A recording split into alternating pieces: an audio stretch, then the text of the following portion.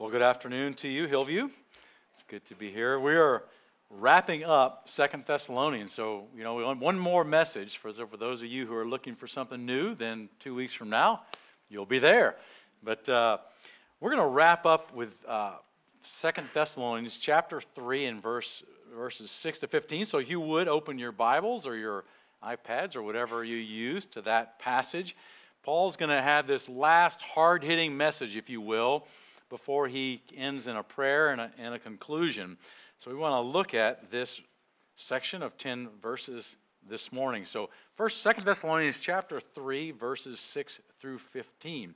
Now we command you, brothers, in the name of our Lord Jesus Christ, that you keep away from any brother who is walking in idleness and not in accord with the, transition, with the tradition that you receive from us. For you yourselves know how you ought to imitate us, because we were not idle when we were with you, nor did we eat anyone's bread without paying for it, but with toil and labor we worked night and day, that we might not be a burden to any of you. It was not because we do not have the right, but to give you in ourselves an example to imitate. For even when we were with you, we would give you this command If anyone is not willing to work, let him not eat. For we hear that some among you walk in idleness, not busy at work, but busy bodies. Now, such persons we command and encourage you in the Lord Jesus Christ to do their work quietly and to earn their own living. As for you, brothers, do not grow weary in doing good. And if anyone does not obey what we say in this letter, take note of that person and have nothing to do with him that he may be ashamed.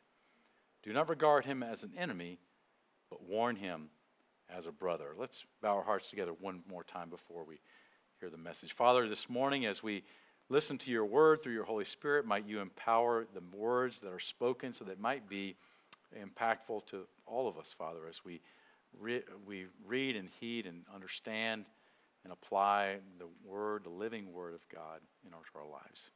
We ask these things in Jesus' precious name. Amen. Well, as I mentioned, this is a pretty hard hitting passage that Paul's going to bring to the Thessalonian church. I don't know if you, uh, as, we, as we talked about this, you know, we've seen some pretty high and lofty heavenly spiritual topics. You know, we've talked about the day of the Lord, talked about um, the man of lawlessness, the day of Christ. We've talked about him coming to earth. I mean, pretty cool, out there kind of topics. And Paul is now transitioning to a very earthly topic, a very practical topic about work. I don't know how many of you, as you think about work, you're like, you know what, it's Sunday, it's my day off, you know, I'd rather not talk about that. Tomorrow is Monday, and so, but Paul is going to talk about it with the Thessalonians. Not only, I think, to help us understand what work is about, but they were having a problem.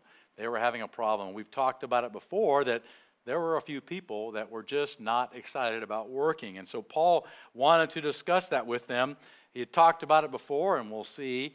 talked about it in 1 Thessalonians, and here we are in 2 Thessalonians. Paul is going to talk about it again. Uh, you know, work probably has a lot of different feelings, you know, among us. Perhaps there are some of us that are just loving the passionate, passionate about the things we do, and we get up on Monday morning, we're like, I cannot wait to show up uh, to go to work today. Uh, perhaps most of you are like, get up on Monday and go, here we go again. I've got to go to work because guess what? I've got a bills to pay and mouths to feed, so this is what we do. Perhaps this is you can relate to some of these some of these thoughts here. Thank God it's Friday because that means I get to rest. Uh, maybe tomorrow you'll be like this. Uh, some of you may have bumper stickers that look like this. Maybe it doesn't say fishing. Maybe, you know, I'd rather be whatever uh, on my iPad watching Netflix, uh, something like that. Or this one. Maybe some of us are these people here. These, what is it? How do you do this? These idiots here. Hopefully, no one's here like that. Hump day, right? I mean, there's been commercials about this, right? It's hump day. Get can't wait. I'm halfway to halfway to Saturday, right? And then there's this one. Mostly humans, mostly humans. You know, there's a lot of feelings about work, right? Uh, here's some sayings perhaps that you've maybe even seen or heard. I take the risk. This could have been me when I was younger. I was kind of lazy, I admit it. Work fascinates me. My, my parents could say, Don't you see all the leaves in the yard? No, I don't. it really, really doesn't bother me. Some of us here in the Bay Area, perhaps, this is kind of key why we go to work. Work is a four letter word, and it is, right? I mean, it is a four letter word. But hey, sometimes we have pretty rough thoughts about work, the drudgery, the toil that we have to do. The only reason I go to work is because, well, maybe your spouse likes to shop, we like to eat, all those kind of things. But uh, I really believe that Paul had some different things in mind about work and why he was so concerned about work. Again, this wasn't the first time he had talked about it. Here we have 1 Thessalonians 2. You know, he says, hey, in labor and toil, we work night and day. He worked, right? In 1 Thessalonians 4. He even says very similar things to the passage that we're talking about today. Work with your hands. Okay, and then in 1 Thessalonians 5, respect your leaders who labor and toil among you. I mean, this was an important topic to Paul. Why was this so, why was he so concerned about work? Well, number one, if you look at this passage in 1 Thessalonians chapter 4, we realize that people are watching us. People are watching how we work. Believe it or not, if you say, I'm a Christian, and you're at work, people watch you differently. Paul says that we need to walk properly before outsiders and not be dependent on anyone. You know, there's a lot of discussion about why these people, these believers, they're Christians, why they weren't working. Um, I listened to a, a three part sermon on John, John MacArthur. He, he spent three hours speaking on this topic. I'll try to keep mine under an hour if I can. But, uh, you know, the Jews, they really believed that secular work wasn't as important as sacred work. And so to them, it's like, you know, if I could meditate, read, write, ponder over Scripture, that was more important than working. And so, you know, maybe I shouldn't be doing all that manual labor. Uh, maybe I should be like these, these monks and just ponder and think and not have to worry about doing secular work. Uh, then, of course, we know not only were there Jews who were saved, but there were also Greeks who were saved. And in the Greek culture, you know, free men don't work. We have slaves to do that kind of business for us. So why should I be working? You know, we have these great pictures of, of wonderful thinkers who did contemplation and reading and studying and learning, and that was more exalted than manual labor. I mean, we have these great thinkers, of men. So there's no reason for me to be working. Uh, and then, of course, the third reason why perhaps some of these people weren't working is because Paul had given them a message, right? And he had to kind of tell them a little bit more because they had gotten it wrong. But Jesus was going to come back. Jesus was, matter of fact, they thought Jesus had already come back. So, well, you know, things are going to go downhill, so why work? But then Paul says, no, no, he hasn't coming back. He's coming back soon. And what's the point? I mean, how many of you have heard or talked about people that said, hey, you know, I've given you the date. Jesus is coming back this date, so what do people do? Well, you know, sell your possessions, go up to the mountaintop, have a party, because it's all going to be ending. Uh, well, that didn't work out so well for them either. And it wasn't working out so well for these believers. You know, they were waiting for the paper to roll out that said, hey, it's all over. Uh, but Paul was concerned about work. You know, why is work that important? You know, I'm talking about like what occupation you have, whether you're a doctor or a lawyer or a plumber or a teacher, but why is our occupation, our daily work, that important? Does God really care about our work? Is he that concerned about it? Could that be a little reason why Paul was talking about this? You know, uh, sometimes we think, I think, as we go to work and we're battling traffic on I 85, and you're like, this is not fun, you know, that maybe work just comes from the curse.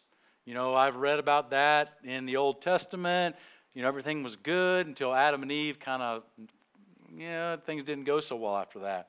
And so let's go back and take a look at that. You know, this, this idea of work coming from, from this part. In Genesis chapter 3, I'll even put it up there. Adam, he said, he's, God is talking to Adam after sin. He says, Because you obeyed your wife and ate from the tree about which I commanded you, uh, you must not eat from it. He said, Cursed is the ground thanks to you.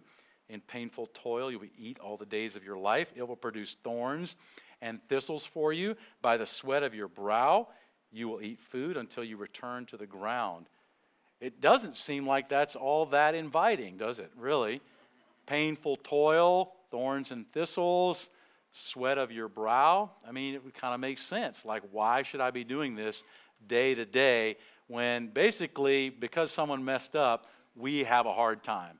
I mean, I don't think many of us are actually going out uh, to farm to make sure we can eat for the day. We usually probably work in air conditioning buildings, but you get the idea that from the curse, maybe people think that work is just something I got to do, but it wasn't what God had intended from the beginning.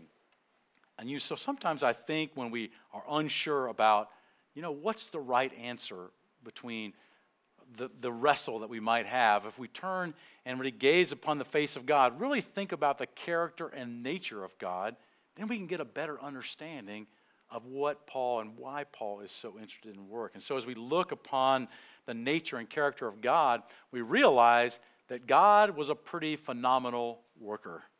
Um, God made a pretty spectacular place for us to, to be a part of, a perfect place of splendor, of provision, forethought, and He sustains it all when we look in just a little bit earlier in Genesis chapter 2 and verses 1 through 3, you know, we see this where the heavens and the earth were finished and all the host of them.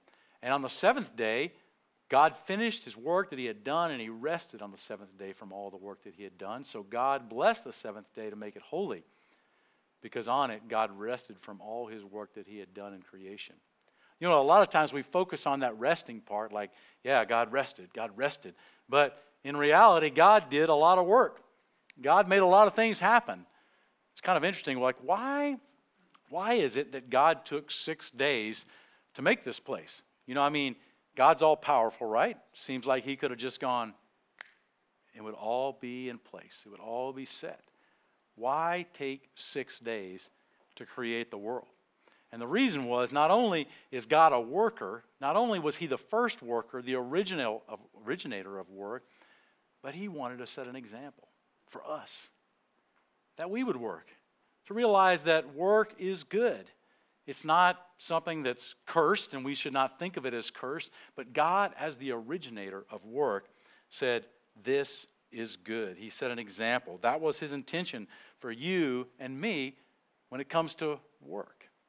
And then, when God created man before the fall, we see very much a similar thing that God had created man to work. When we look a little further in Genesis chapter 2, he said, The Lord God took man, put him in the Garden of Eden to work it and to keep it. And the man gave names. Perhaps that was the first job that God gave us, made names for all the livestock, all the birds of the heaven, and the beasts of the field. So here we see God's intention from the beginning that man was to work. Man was to work.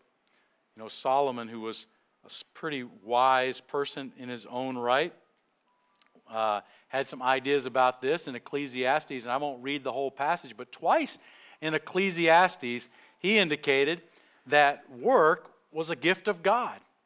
This is a gift of God, he says, the toil and labor that you do. If you look at the last part of that, for he will not remember, speaking of man, much of the days of his life because God keeps him occupied with the joy of his heart.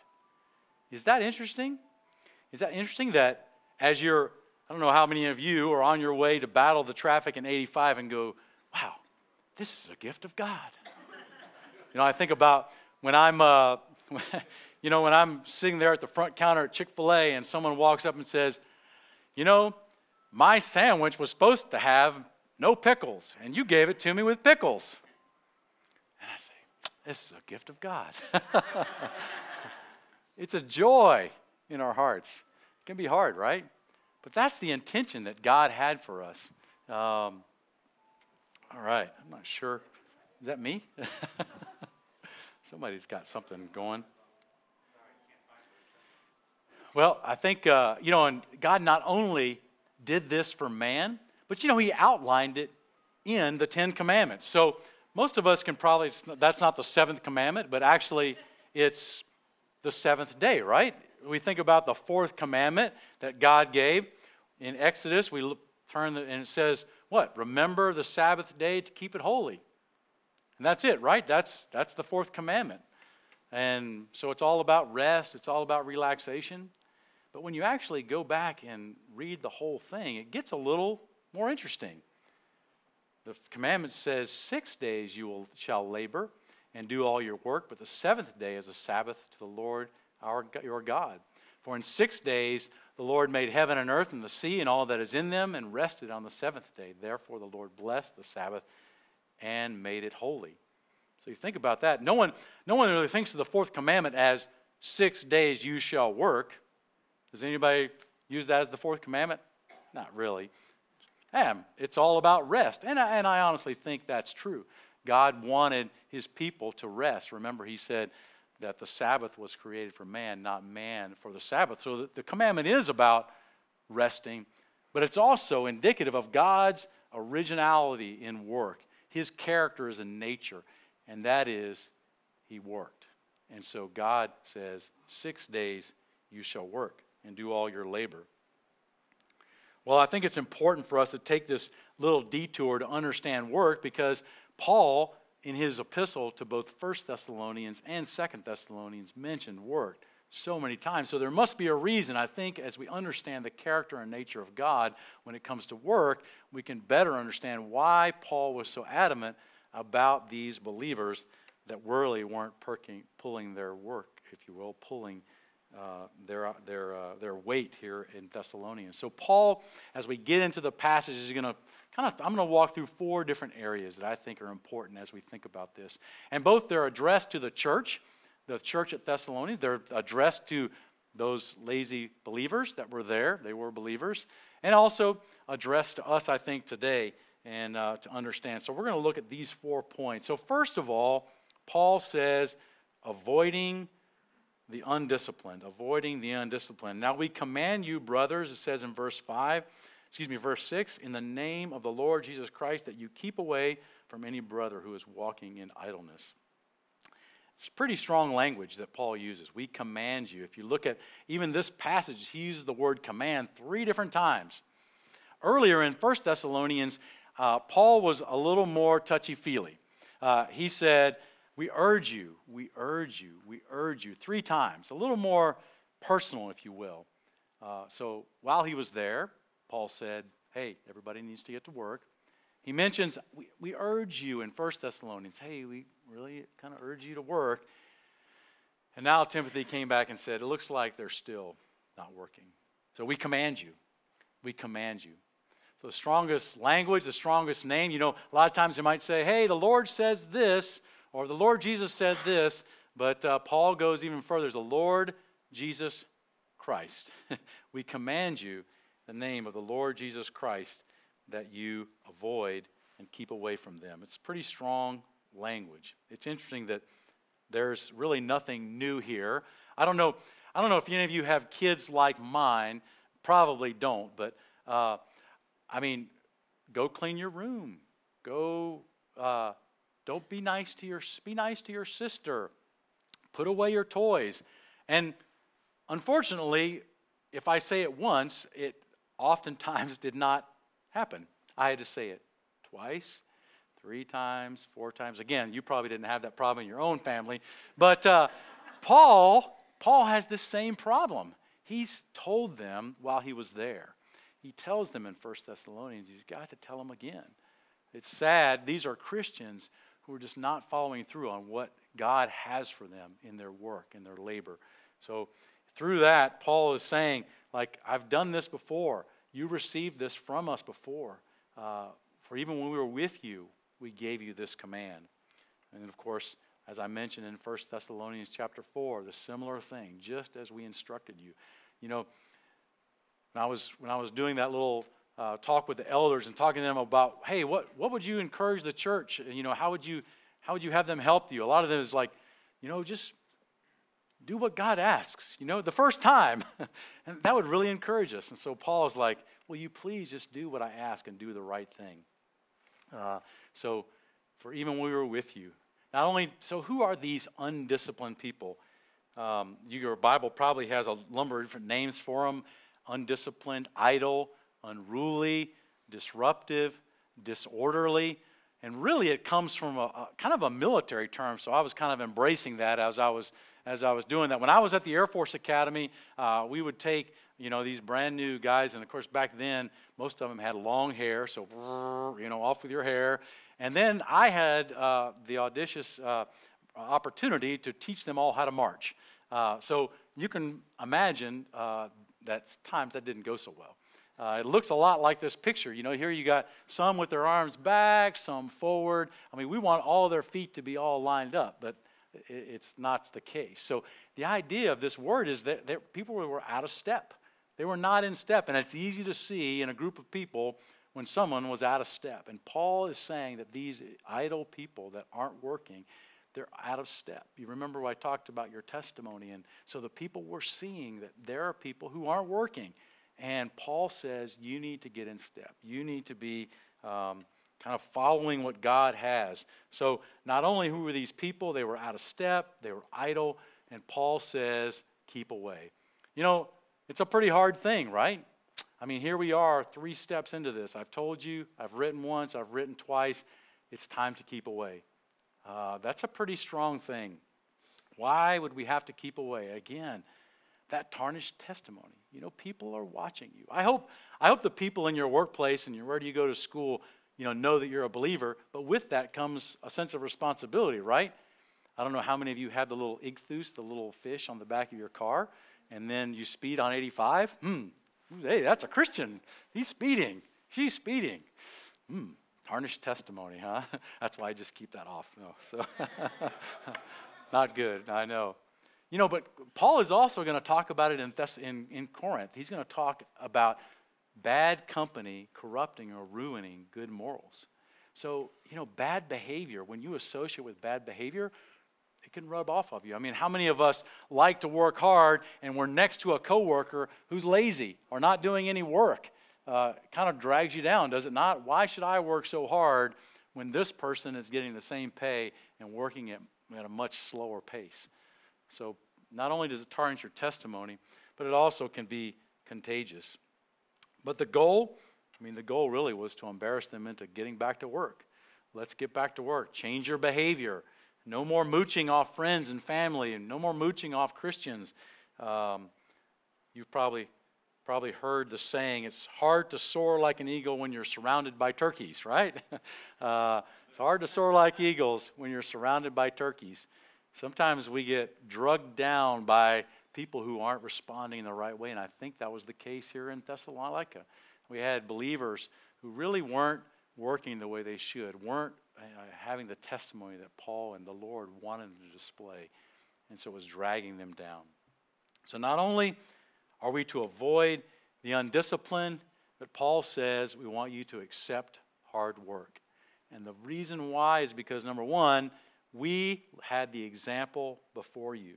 We did the right thing. In verse 7, for you yourselves know how you ought to imitate us because we were not idle when we were with you. Uh, you know, Paul says we were not idle. Basically, completely the opposite of what these people, these Thessalonian Christians who are not working are doing. He's like, we're not undisciplined, uh, the opposite of idle, not unruly, not busybodies. You know, Paul, he says, hey, we didn't accept free food. You know, we worked hard. We didn't accept free bread. We worked night and day, and we weren't a burden to you. Um, that's something that you know, Paul wanted to have. Maybe he got there when he first got to Thessalonians, and boy, he preached the gospel, people were saved, and all of a sudden they decided, whoo, you know, he's, I'm saved, Christ is coming back, let's stop this working bit. You know, this is for the birds. And Paul says, no, let me show you exactly how I want you to act. And so he worked, worked with his hands night and day so that he wouldn't be a burden. You know, Paul later says, hey, I had the right I'm an apostle sent by Jesus Christ. I, if anybody has a right not to work and for you to give us food, that would be me. I have a right to do it. But Paul says, I didn't want to do that. He says, when we were with you, we wanted to give you an example that you would follow. So, you know, we think about that in our workplace, right? The example that we set for the people around us. As we go, we work hard. Um, You know, it's about being a good leader. Sometimes I've come into Chick fil A and you'll see me, I'm on the front counter, like with a register, taking orders. And I don't need to do that. I have people to do that. But sometimes I do that because I want to set the example for them so that they understand exactly how I want to, to be with every guest that comes through there. So Paul wanted to set the example so that they understood the importance of hard work. And for what purpose? For what purpose? You know, really, you know, Paul was. Um, was really wanted to make sure that they understood that work was from God. Now, he didn't really lay it out here that, that the, what we talked about earlier, but Paul, I believe, understood that work was a good thing from God, and we needed to do that. So, Paul then, as he thinks about accepting hard work, gets into a, even a more difficult passage. For in verse 10, he says, For even when we're with you, we would give you this command, this command again if anyone is not willing to work, let him not eat. That's pretty harsh, right? I mean, people quote that. If you don't work, you don't eat. That's good. That's good uh, uh, impetus, right? To work when you get hungry. Imagine how things happen, right? I mean, Genesis 3, it comes right out of that. In pain you shall eat of the ground the rest of your life. By the sweat of your brow you will eat food. You've probably seen some of this, these signs will work for food. Uh, we see that a lot. Unfortunately, a lot of people don't use the sign for the real purpose that it was created. If you offer them a job, they're like, well, you know, maybe you could just give me some money. I was, uh, I, we were traveling one time, I, I remember this vividly. We stopped at a gas station, and a gentleman comes by, and he was asking. I was in a different area of the, getting gas, and there was a different pump set. And so he was asking this gentleman over there if he could have some money to get some food. So I don't know what, I couldn't understand what the guy was actually saying, but he went in to pay, came out, and he gave him a sandwich. And, you know, the guy said, thank you. And then the gentleman who was getting the gas, you know, walked, uh, drove off and left. And I watched the, the, the, homeless gentleman or whatever who got the sandwich walk over and toss it in the garbage can. And away he went. And I was like, wow, that, that's brutal. Um, that's tough. It's kind of easy to get jaded, right? You kind of wonder makes it hard to understand. You know, unfortunately, perhaps the willingness to work hard has, has really not been cured in the 2,000 years since, since Paul, through the Holy Spirit, wrote this, right? You know, our occupation is really not that important. We're not in a materialistic society as believers, so where we work to get our money, but we should be different, right? we should be different. Our responsibility, we should have a deep sense of responsibility above those without Christ because we serve the Lord Christ. Uh, so when we think about that and we think, you know, like, like that gentleman with the sandwich, like, how do I know why I should limit charity? I mean, charity is good, right? And I can think of three reasons that I, I kind of did. We, when we were, I was at a church previously and we had a gentleman who was very into the homeless. And it was, it was, he had a great ministry, but a lot of times he wanted to just give money and food away to everybody, regardless of who they were or what they wanted. And so we entered into a deep study of, you know, who are the poor? Who are those in need? And how do we discern, you know, what to give and who to give for? And as we, you know, some of these, some of our thoughts came from some of these things. You know, it, some, it harms the recipients and limits their, their, the sin of idleness is encouraged, temptation towards sin limits their independence.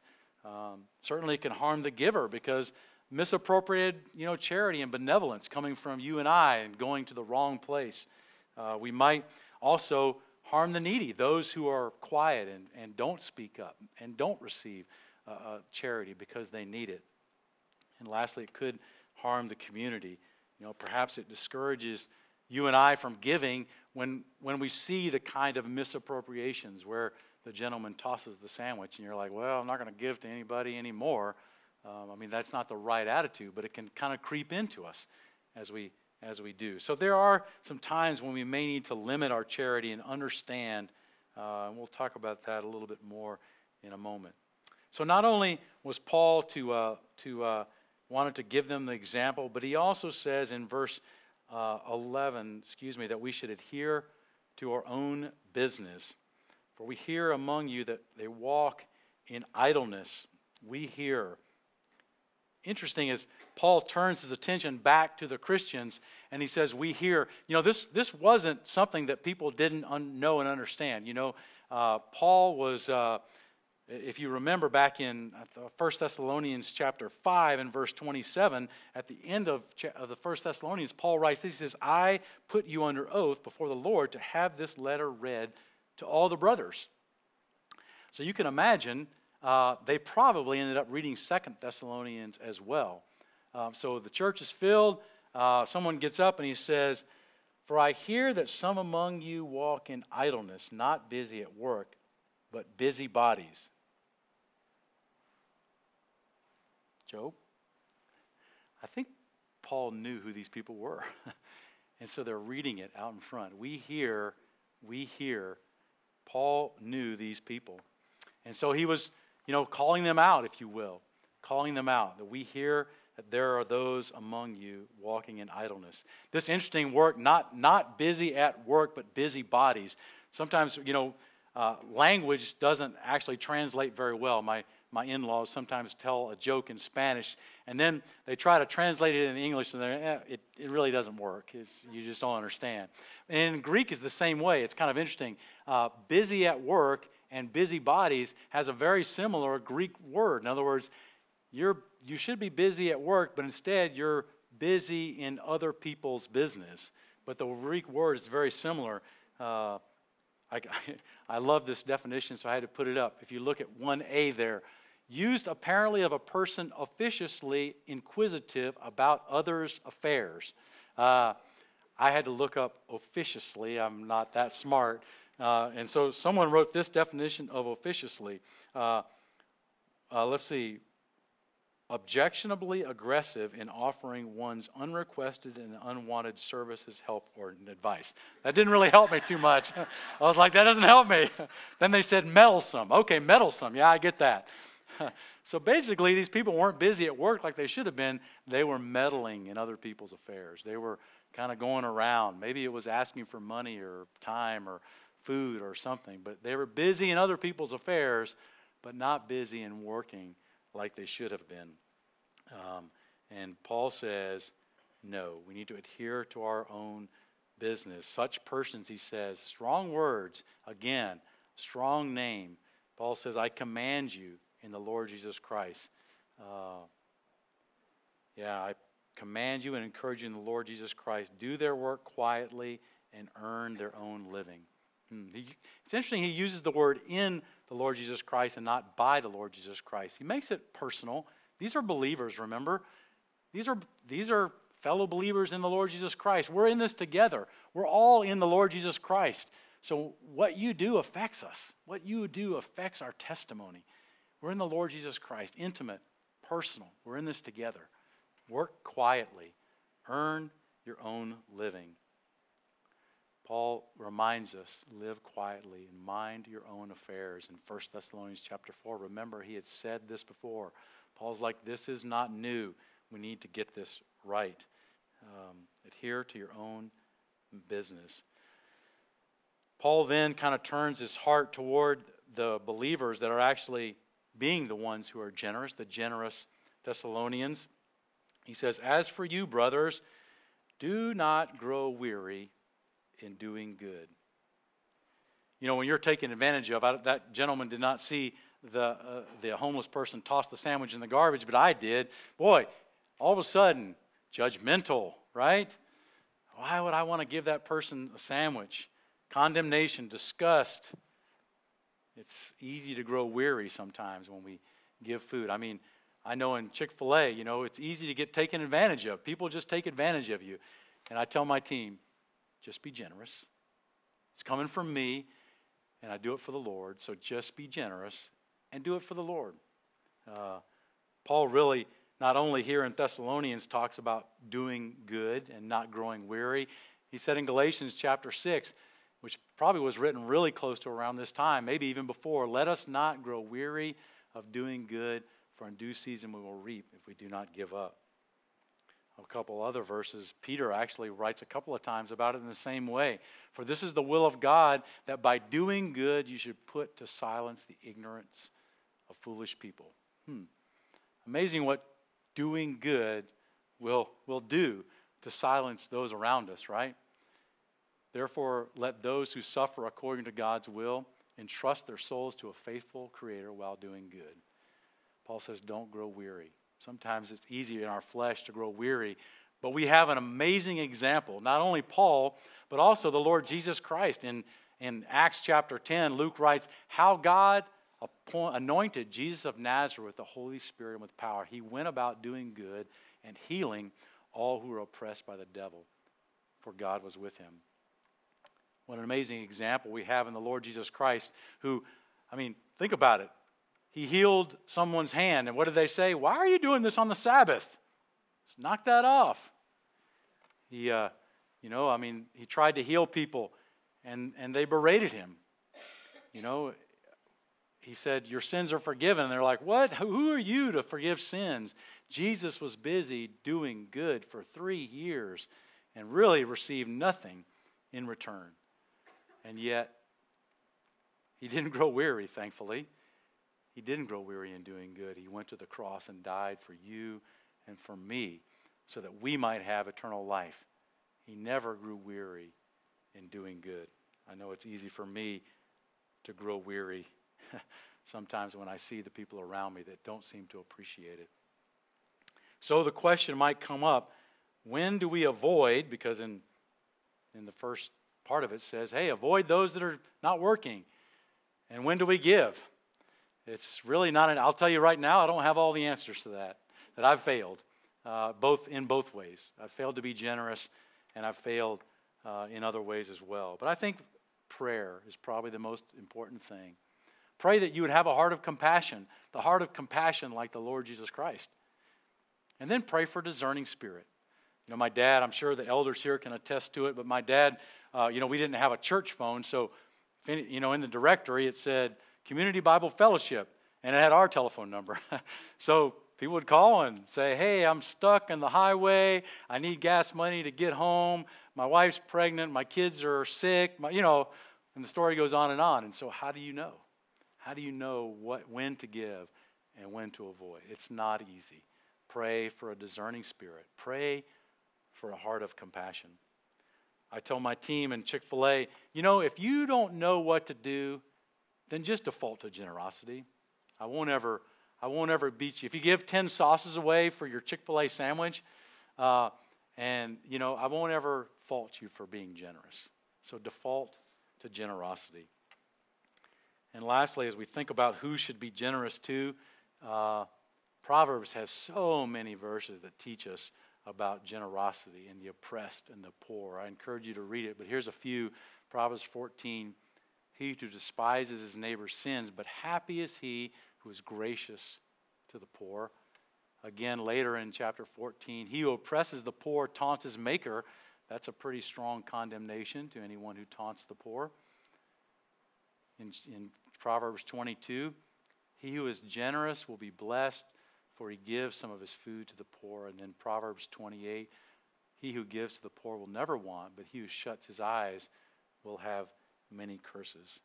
So I think defaulting to God to generosity is something good. I think also if we think that we're doing it for God and not the individual, that can make all the difference in the world. You know, if you give the sandwich to the gentleman and you watch him toss it into the garbage can, you just say, you know, that was for God. That wasn't for this person. That was for God. And if we have that attitude, regardless of whether he tosses it in the trash can or whether he eats it, we do it unto God. And then we know it's between him and the Lord, whatever happens. So the last part of this is that Paul is going back to talk to the church and said, we're going to admonish the disobedient. If anyone does not obey what is written in this letter, he says in verse 14, take note of that person and have nothing to do with him, that he may be ashamed. Again, that's pretty harsh, right? kind of beckons, harkens back to Matthew, if you will, chapter 18, church discipline, right? If you've taken peacemakers, you've probably seen this. But here we are, the four step process of, uh, of church discipline. Paul likely had already talked to these individuals. Maybe Timothy did. Maybe someone probably had. They've got to step one and said, hey, you people need to get to work. Uh, probably, maybe when Timothy went back, he grabbed some of the leaders, take one or two, got on to step two, and said, "Hey, there's there's two of us now. Let's let's figure this out. Let's get back to work." So basically, Paul is moving on to step three in this letter.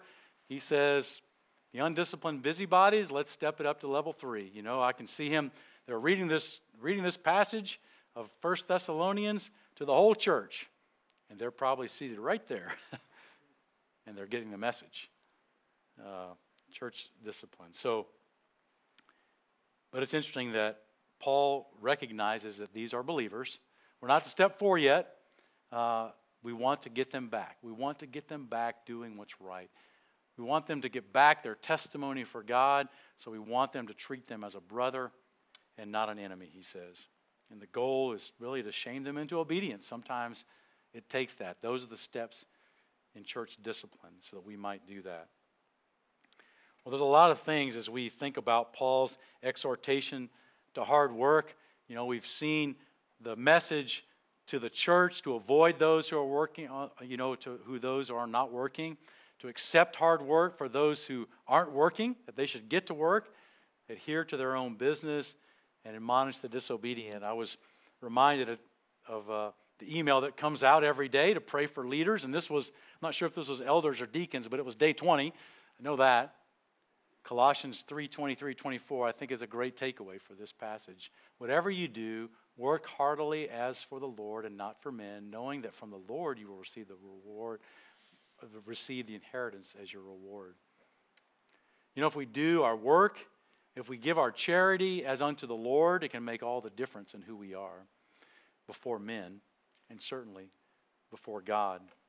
Uh, and so, work is good. God made it so. So, I would challenge you, as I challenge myself, you know, not to celebrate Hump Day because, you know, work is good. God's destined me to be here.